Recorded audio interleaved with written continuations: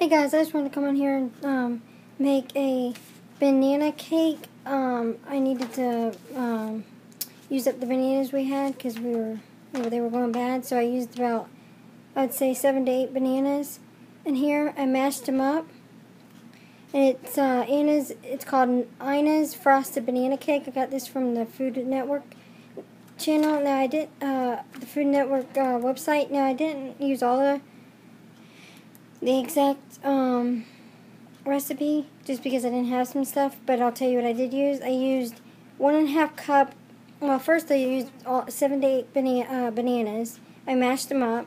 Then I put one and a half cu cup of brown sugar, um, one and a half cup of canola oil because I didn't have um, vegetable, two eggs, one and a half cup of sour cream. I know that sounds weird, but one and a half, one, I mean, sorry, one teaspoon of vanilla extract, two cups of self-rising flour, um, and then I, because I didn't have all-purpose, one teaspoon of baking powder. It called for baking soda, but I didn't have that either. One half teaspoon of sea salt, and that's it. I uh, mixed it all together and I will um, bake this and I'll get back to you and let you know um, how long that it bakes for. Okay guys, this is the finished product.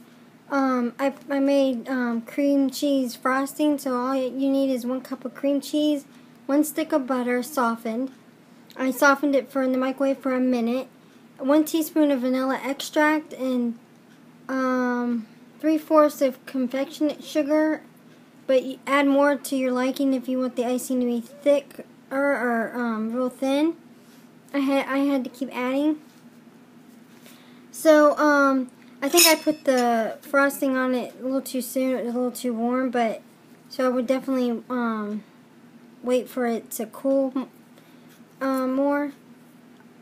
So I put and I baked it on in the um, oven for on 350. So let's just try it.